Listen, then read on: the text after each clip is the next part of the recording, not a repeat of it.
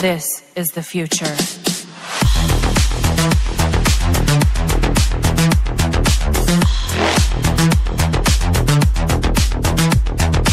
Evolution.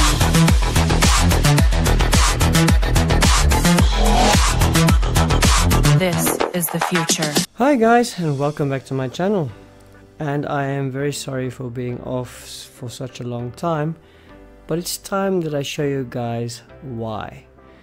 I'm busy with my backyard project.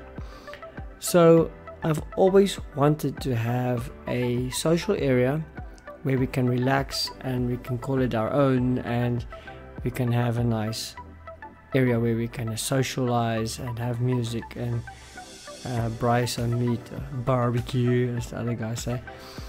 But I never had it. Um, normally we had to um, use the front of the house as a social area and it is right in the view of all the neighbors and it's it just didn't work for me. And we had all the space at the back which was actually such a wasted space. Nobody ever came there nobody ever used it and the ground sloped so much as you can see in this photo that you cannot even sit on a chair without falling over and rolling down the hill that's how bad it actually is. Even if it doesn't look like it on the photo it's actually very very terrible. So we decided to start creating that area into an area where we can actually socialize. So this will be the first video where we will show you what we did to prepare the area.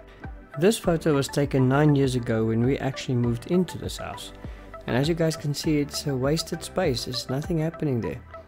And after the dogs destroyed all the grass and I attempted to plant grass which was unsuccessful we decided to convert this area into an area we can actually use.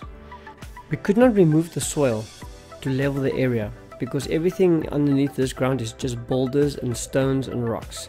It's going to have to take specialized equipment and to bring extra soil in to level this area was going to take tons and tons of ground because I would have to have lifted it 8 bricks high from the front corner just to get it level.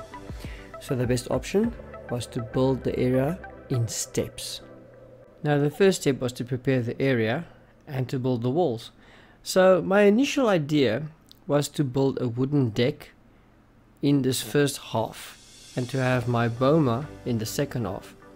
But since we were already busy with renovations in the house, we decided to pave the back area and leave the centerpiece open for the boma and also to plant some grass to give the dog some place to do his business.